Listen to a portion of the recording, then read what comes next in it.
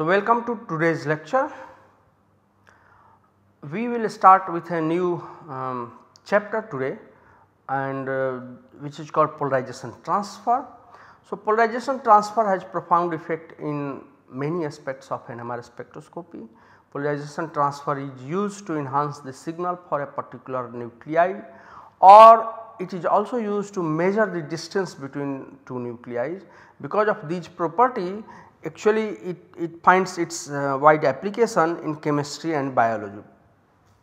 So, we will just go and revise some of the concept that we had seen earlier. Previously like when we started the course we had seen that intensity of a resonance is proportional to the uh, population difference between two states. So, suppose here I have a state say alpha state and beta state how much is the population here and how much is the population here. So, this difference actually gives you what will be the intensity of your signal. Now, as we have seen that this population is governed by Boltzmann distribution.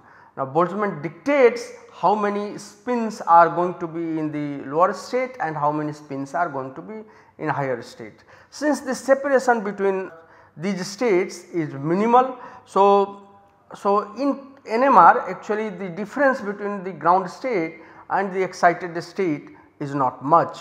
Therefore, NMR is one of the insensitive technique as we said that the difference between the population here and population here is not much. So, therefore, intensity here is signal. So, to just give you an, an idea of how insensitive it is, if you record a fluorescence spectrum for a biomolecule suppose we are probing a tryptophan which is a fluorophore and commonly used intrinsic fluorophore for doing fluorescence spectroscopy. So, for that you need maximum of 10 or 20 micromolar of sample however for getting a decent NMR spectrum for a biomolecule you, you need few hundred micromolar say 500 micromolar to 1 millimolar for doing 1D spectrum. Therefore, one can say that NMR is one of the insensitive technique that we have, but it has its own advantage and therefore, uh, it is popular like getting the site specific resolution or information. Okay. The other important phenomena that this state difference also depends upon which type of nuclei is. So, that actually dictates the magnetic moment of the particular nuclei. So, carbon is 4 times less sensitive than the proton and therefore, if difference in the proton is this much then carbon will be less compared to that and therefore, carbon becomes even less sensitive than the proton. Nitrogen is further like its gamma is 10, 10 times less. So, its magnetic moment is less and therefore, this uh, the intensity that we obtain from nitrogen will be even less. So, these are the some of the phenomena. So, some are more sensitive nuclei like proton because because of uh, it has high magnetic moment. So, therefore, separation between these two states will be higher. Nuclei like carbon 13 or N15 will be less sensitive simply because the separation between these two states will be less and the population difference between these two states will be also less. So, this is one of the insensitive technique. So, just to summarize what we discussed the intensity for a particular signal depends upon the difference in the population um, of the ground state to excited state like a typical electronic spectra like fluorescence spectra or UV visible spectra the difference between these two states ground state and excited state population difference between these two states is quite huge therefore the signal intensity is remarkable. In case of NMR this the difference in population between these two states is smaller therefore, it is one of the insensitive technique. This population is distributed by Boltzmann distribution and some of the nuclei like X nuclei nitrogen 15 or carbon 13 are even less sensitive. So, with this background we will move ahead for the polarization transfer and we try to understand the concept of polarization transfer. So, all the time we have to think how to increase the sensitivity of some of the lower sensitive nuclei. Um, even for many case proton is also not that sensitive if compared with electronic spectra. However, among other NMR active nuclei proton is the most sensitive. So, can we manipulate somehow population difference between these two states? If we uh, manipulate the difference between these two states, we can enhance the sensitivity because now difference will be more. Now manipulation of this population in two states actually energy level uh, of the spins will be having now different uh, population. So here say we have a more population as expected because of Boltzmann distribution and here we have less.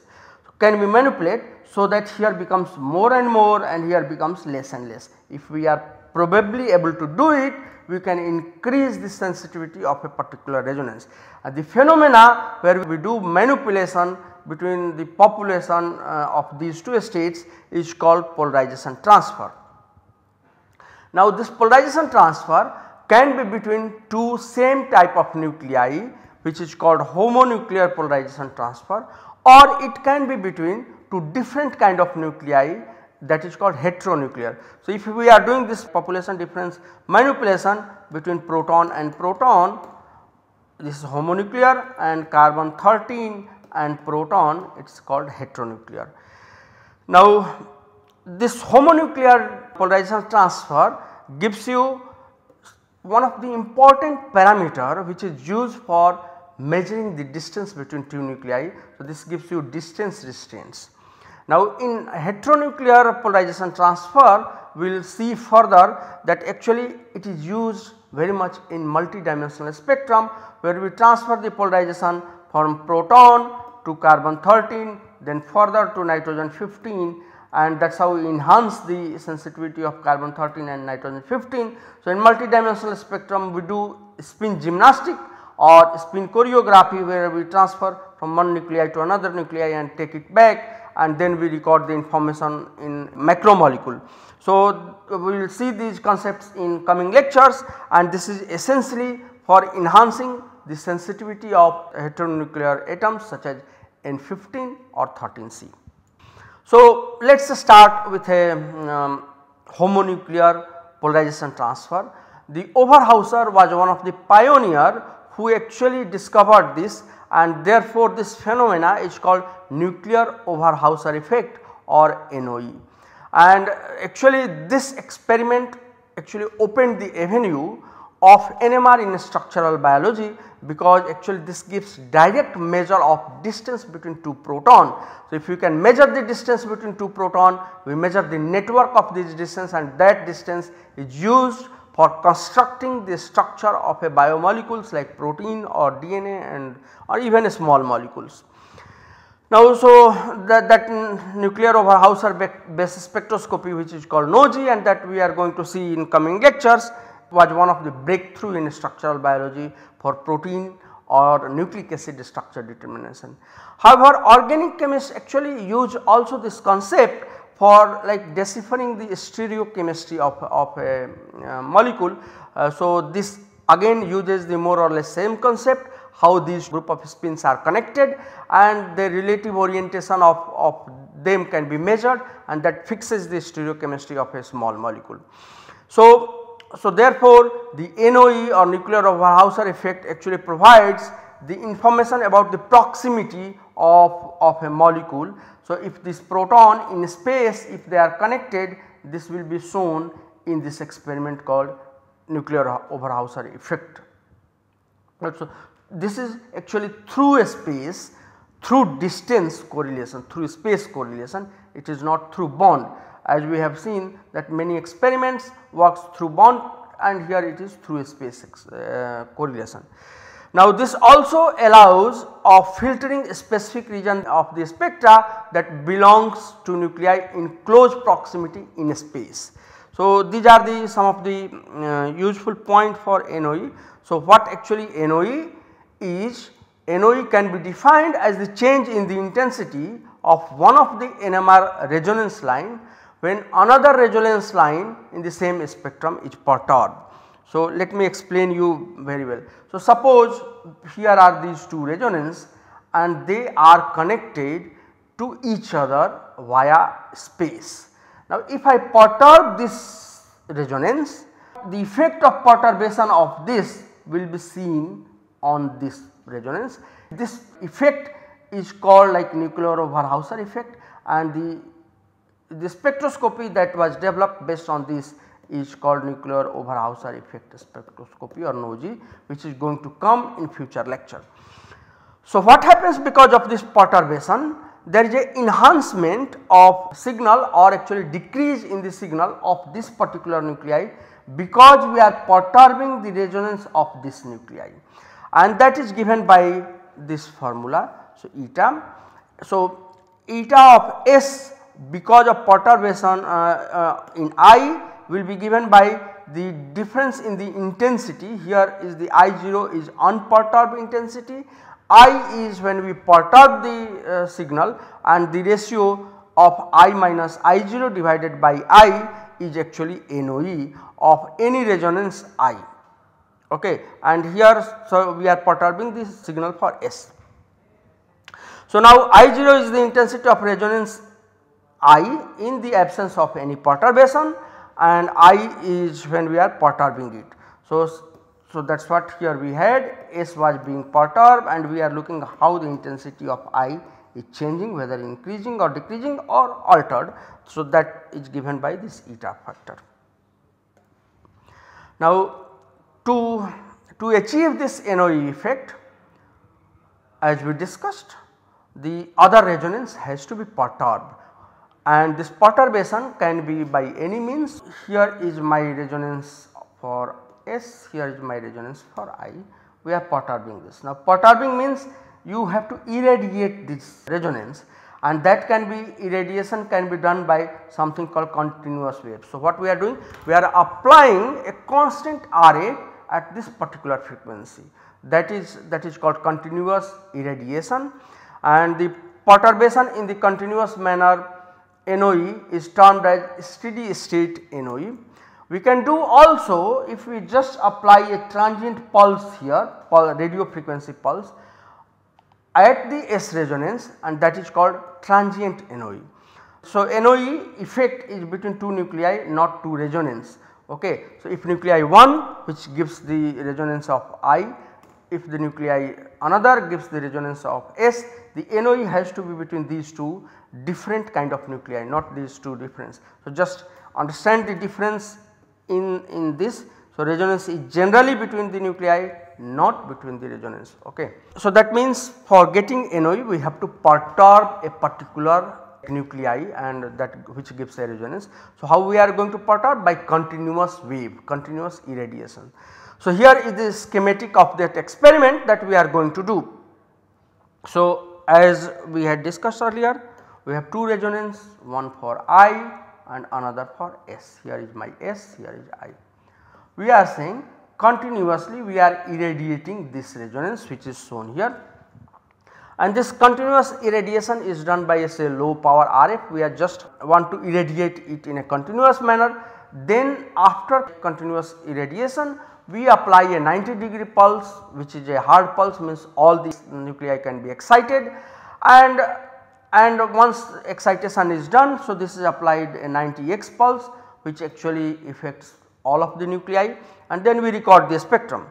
So this RF continuous RF perturbation like done on S resonance at the midpoint here.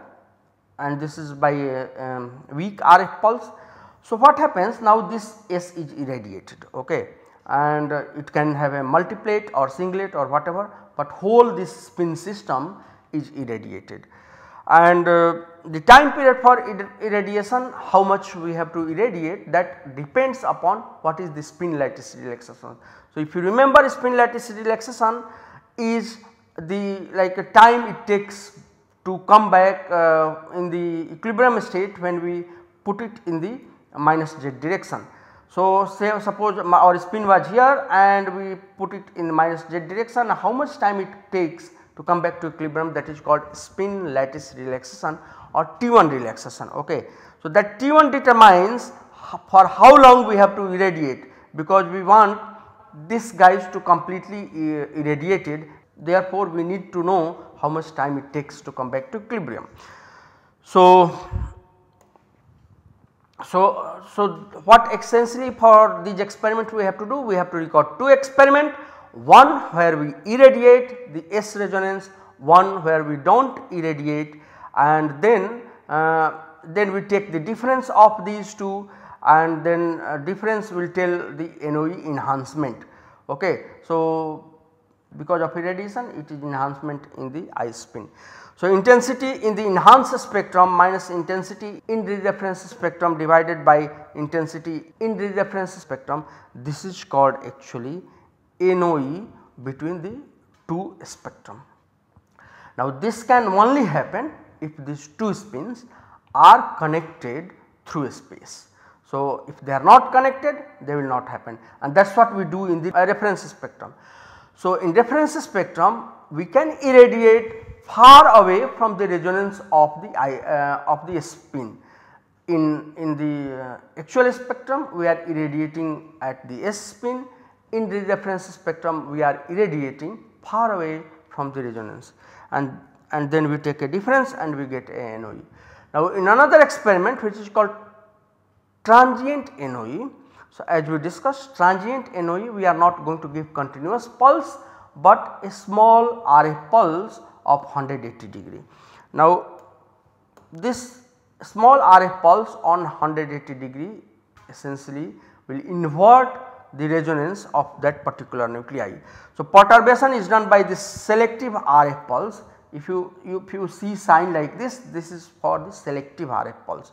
The sign like square is for hard pulse means this non-selective everything is excited and this kind of Gaussian or various shape this is called soft pulse. So, this is soft pulse, this is hard pulse.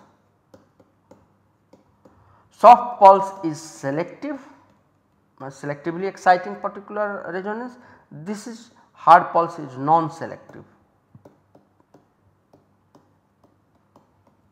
Okay. So, now this selective pulse is inverting a particular resonance or a group of resonance say a spin then after that we have to do something called mixing. So mixing time and what happens during mixing time actually spin exchanges their magnetization and that actually leads to NOE. So here this TM is uh, important. So now mixing between these two spins has happened then we apply a hard pulse 90 degree hard pulse means that excites all the nuclei and after that we record a response. This is FID so, we record response. As we discussed we have to do two experiment. One where we irradiate it and another is a reference spectrum which we do off resonance spectrum. Is recorded by applying the inversion pulse at a frequency where there is no resonance in the spectrum. And then we take a difference between two like a on resonance spectrum and off resonance spectrum. And that difference gives you how much will be enhancement. Okay. Now one of the parameter that we discussed in transient NOE is the mixing time Tm. So, Tm can be varied to monitor the time time course of magnetization transfer as we discussed during this time two spins talk to each other. So, if we put it for longer time they will talk more and magnetization transfer will be more. If we put it for shorter time then will their magnetization transfer will be less. So, this means this permits the identification of spins which are closer to the perturbed spin or which are slightly farther from, from the perturbed spin. And if you vary this Tm actually this can give you precise distance information from the perturbed spin. So, if say just for an example A spin is here and we are perturbing that A spin, B spin is here and C spin is here. So, effect will be more seen here than the effect will be seen here. So, that means the intensity can change if the, it is closer or it is far. Now looking at the intensity we know that A is closer to B or, or uh, A is closer to C. So in this case C will be like intensity difference will tell the distance and that actually gives you the distance information. This whole experiment will be dictated by what is the spin lattice relaxation of the perturbed spin. So, we have to determine how much is the T1 time spin lattice relaxation time for A. This is important parameter because this gives the time when it goes to equilibrium state. So, then perturbation we have to tune accordingly uh, looking at the spin lattice relaxation time for this perturbed spin. So, to summarize what we are doing the how we are going to get NOE in brief by two way one is called a steady state NOE one is called transient NOE. In steady state NOE we are irradiating a particular resonance or a group of resonance particular spin by a continuous wave. One parameter to look after is the T1 of the perturbed nuclei that we have to look at. In transient NOE we are doing same thing more or less, but here we are perturbing by a selective pulse and then again we are mixing the spin states so that the magnetization uh, that perturbation effect can be transferred to another spin and that gives you distance information. Okay, so here is the transient NOE spectrum for a large molecule. So here is the off resonance spectrum where actually perturbation was done quite far and one on resonance spectrum here the perturbation was done uh, at this spin and then you see the effect at the sum of the resonances their intensity is changing. So, if you take the difference between these two you can find that all these resonances which shows the um, some signal were actually in close proximity of the perturbed spin like here. Okay. So, now that gives the distance information and the distance information is not too long it is approximately about 5 angstrom, but we can find it out that uh, and one, one thing can you can see it the intensity of this resonance and this resonance is more than this, this and this. So, what it says that these two resonances seems to be closer to the perturbed spin and, and that is how one can get the distance information in a macromolecule. So, if you do quantitative estimation of the intensity of NOE signal, we know the distance between all these spins. So, we need to measure a standard distance and the NOE effect and with compared to all those intensity can be relatively calculated how much will be distance between these two nuclei or group of resonances. Okay. So, now we understood the importance of NOE. Now next we want to understand what is the origin of this NOE. So, NOE arises because of the dipolar interaction between two spins. Now as we know that each spin is a dipole and between these dipole there is a interaction. So, that means this interaction if you remember from your undergraduate physics dipolar interaction is a distance dependent and that is why we said that up to 5 angstrom the NOE effect can be seen. So, NOE arises because of dipolar interaction the also it depends upon if you look at there is a angular aspects to that. So, how spins are oriented with respect to each other. So, this actually gives you lots of information about the orientation of spins, the distance of the spins and many of those stuff. Now, so whenever a nuclei is perturbed from its equilibrium states, equilibrium state what we mean where the lower states has more population than the higher state so, that is equilibrium state. The perturbation uh, is transferred to its neighboring nuclei by a dipolar interaction. So, suppose these two spins spin i and spin s are connected by dipolar interaction. We are perturbing spin s. Now, perturbing means we are changing the population in these s spin. So, population between these two states the ground state and say the excited state or the uh, alpha state and beta state. So, if you are changing the effect of that will be transferred to this spin and that is because they are interacting by a dipolar extension. So, this extent of perturbation how much we are creating depends upon how they are relaxing. So, relaxation rate of this uh, and how strongly we irradiate this, um, what is the strength of that irradiation pulse, what is the duration of that irradiation. So, all those plays effect and therefore, this effect is quite quantitative because we can change the irradiation strength and duration of irradiation and we can look at how far the irradiation effect has reached. So, extent of NOE depends upon various relaxation properties. So, we will look at in a more qualitative and quantitative manner how the NOE is dependent upon relaxation property of particular spin. So, just for simplified treatment we will just look at two spin system like uh, weakly coupled system that we had discussed earlier AX system.